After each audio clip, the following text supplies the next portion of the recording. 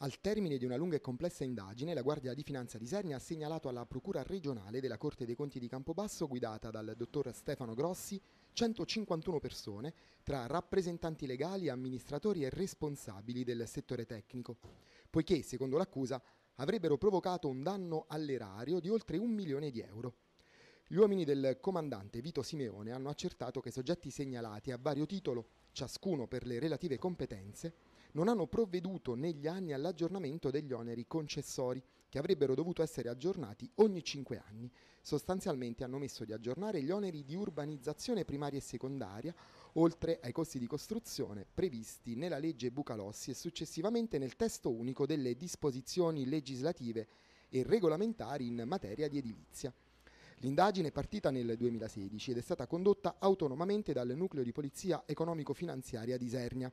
Dopodiché, con la supervisione della Corte dei Conti, l'operazione è stata portata avanti dalle Fiamme Gialle mediante l'acquisizione presso i 52 comuni della provincia di Isernia di provvedimenti amministrativi come delibere di giunta, di consiglio e determine, con cui sono stati disposti gli aggiornamenti degli oneri concessori e quelli autorizzativi.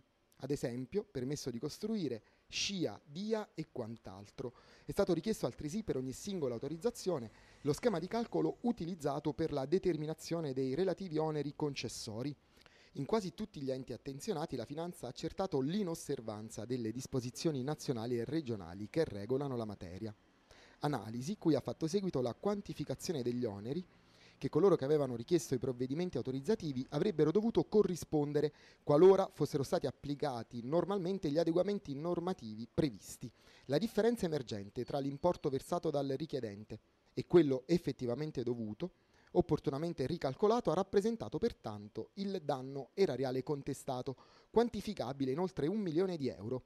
L'intervento delle fiamme gialle, hanno dichiarato i vertici provinciali della Guardia di Finanza, ha implicitamente sollecitato la quasi totalità degli enti ispezionati ad eseguire gli aggiornamenti non effettuati, con emanazione di provvedimenti amministrativi correttivi che hanno sanato una irregolarità in molti casi persistente da oltre 40 anni.